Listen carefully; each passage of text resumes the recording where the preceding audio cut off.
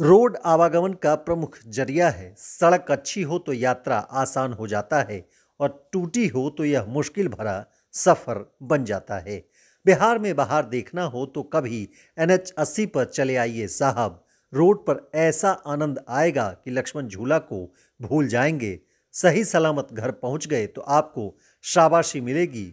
वरना हॉस्पिटल में तो जगह मिल ही जाएगी। अपनी राजनीति चमकाने वाले नेताओं को आम जनता की कोई फ़िक्र नहीं है। इन्हें वोट दीजिए। उपहार के तौर पर गड्ढा भरा रास्ता मिलेगा। चौकिए नहीं ये कोई गाँव की पगडंडी नहीं, बल्कि झारखंड और पश्चिम बंगाल को जोड़ने वाले राष्ट्रीय उच्च पथ का हाल है।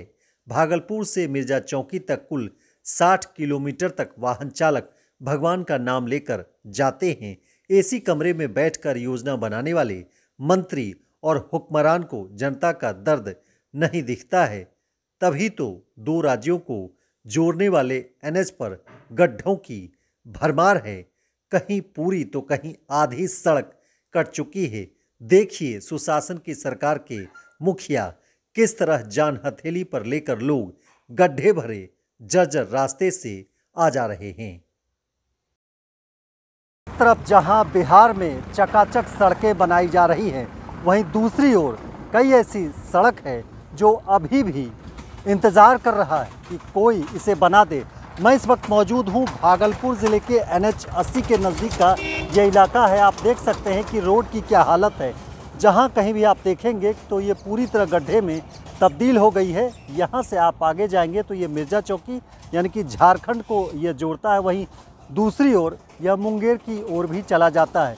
भागलपुर से जब आप निकलेंगे तो तमाम जगहों पर आप जैसे जैसे आगे बढ़ते जाएँगे तो रास्ता कुछ ऐसा ही नज़र आएगा। कहीं साइड से कटा हुआ है, कहीं बीच से कटा हुआ है और कहीं पूरी तरह गायब है।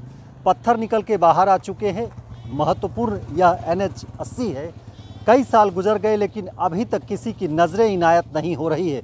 न तो यहाँ के सांसद इसे देख रहे हैं और न ही विधायक। अगर हम बात करें सुशासन की सरकार की, जिसमें मुख्यमंत्री ये दावा करते हैं कि सभी जगहों पर रोड का कायाकल्प हो रहा है, अगर रोड का कायाकल्प हो रहा है तो इस रोड की ऐसी स्थिति क्यों बनी हुई है? आखिर इसके लिए जिम्मेदार कौन है? अभी बारिश का मौसम नहीं है, तब लोग जो है यहाँ पर किसी तरह आ जा रहे हैं। लेकिन जब बारिश यहाँ पर होती है तो घुटने भर से ज़्यादा पानी और कीचड़ जम जाता है, जिसके कारण लोगों को आने जाने में परेशानी होती है और जो बड़े वाहन हैं, यात्री वाहन, वो इधर से गुजरना नहीं चाहते हैं, क्योंकि यह रोड लगातार जो है बद से बदतर हालात में है।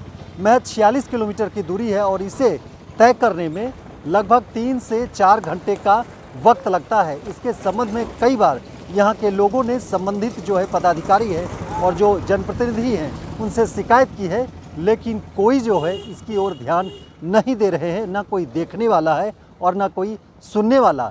लिहाजा अब लोग यह कह रहे हैं कि हम लोग जो वोट देते हैं, अब इसके पहले सोचेंगे कि आखिर वोट क्यों दें, क्योंकि वोट देने के बाद हम लोग अगर इस तरह के टूटे रोड पर हम दिखा रहे हैं कि अगर चलेंगे तो आखिर रोड ये क्यों नहीं बन रहा है और कब तक ऐसी स्थिति बनी रहेगी। कुछ लोगों से हम बात करेंगे और आपको यह दिखाएँगे कि आखिर इसकी ऐसी स्थिति क्यों है क्योंकि यहाँ के लोग ही इसकी सच्ची तस्वीर बयां करेंगे। कितने दिनों से रोड की ऐसी स्थिति है? ये कम से कम दस पंद्रह बरस से। कौन सा जगह है ये? यह इंग्लिश फरका है फरका। कहाँ से कहाँ तक रोड जाती है? ये मुंगेर से मिर्ज़ा चौकी तक। मिर्ज़ा चौकी तक? हम्म। मतलब ये भागलपुर के ज़ीरो माइल से? ना मिर्ज़ा मुंगेर से। मुंगेर से। हाँ और ये आगे ये चली जाती है भागल भागलपुर। हाँ, ना मुंगेर से आती है भागलपुर भागलपुर से मिर्ज़ा चौकी। तो कितने दूरी तक ये रोड की ऐसी स्थिति? साठ साठ किलोमीटर तक। साठ किलोमीटर? हम्म। कभी बनते देखा है आपने? ना कभी नहीं देखे कभी नहीं बनता है? नहीं क्या लगता है आपको इसके लिए कौन दोषी है? दोषी है नेता सब है सरकार है कोई भी मुख्यमंत्री बनता है तो यहाँ देखने के लिए नहीं आता है। कोई नहीं आता? है ना यहाँ एनएच का है ही रोड मुख्यमंत्री के अंदर में तो नहीं है एनएच प्रधानमंत्री के अंदर में है। अच्छा एन एच ये कितना अस्सी है? हाँ एन एच अस्सी है। एन एच अस्सी? हाँ। रोड पूरा मतलब गड्ढा है?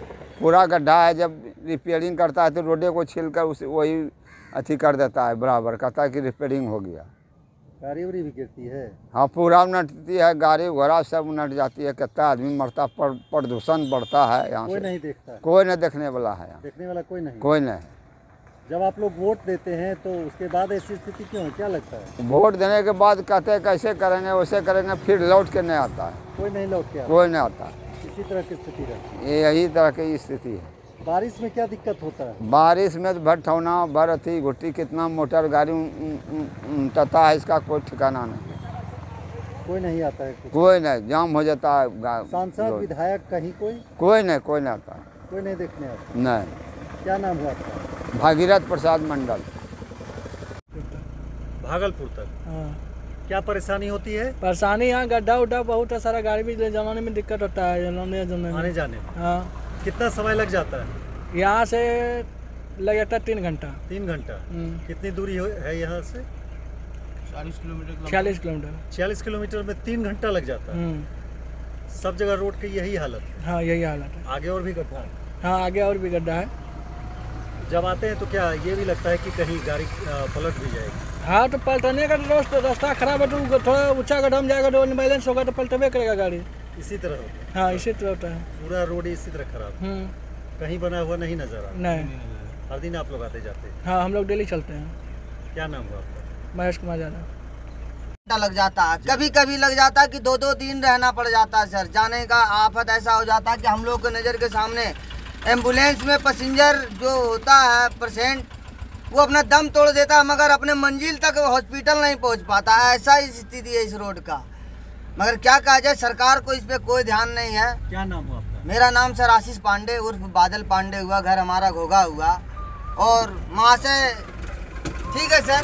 ओके चलिए सुना कि जो वाहन चालक है उनका कहना है कि इस 46 किलोमीटर में लोगों को तीन से चार घंटे का वक्त लगता है और सबसे ज़्यादा परेशानी जब यहाँ से मरीज़ आते हैं एंबुलेंस के द्वारा तो वो हॉस्पिटल नहीं पहुँच पाते हैं और रास्ते में ही उसकी मौत हो जाती है। इसके बावजूद जो है सरकार की नज़रें इनायत नहीं हो रही है। अपने सहयोगी के साथ मलय झा प्रत्येक न्यूज़ लाइव के लिए भागलपुर के एन एच अस्सी से।